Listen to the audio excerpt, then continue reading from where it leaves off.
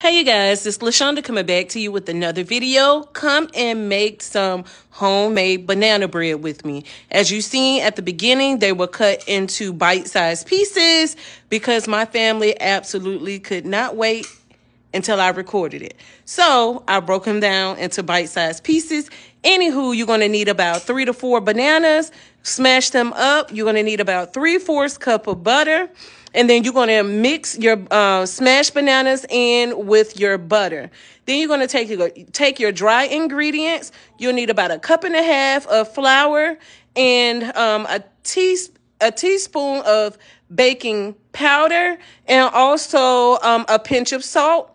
And then you're going to take your wet ingredients and mix it in with your dry ingredients. Oh, yeah. And please don't forget the sugar like I did. So I had to go back in and add it um, to the mixture.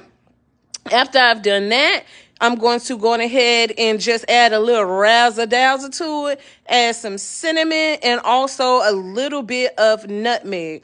Also, you're going to need an egg. You'll need one large beat egg. And after that, see that cinnamon and nutmeg? When I tell you it takes it to another level, honey, it takes it to another level. You're going to add that to a greased pan, let it cook for about 45 minutes, and there you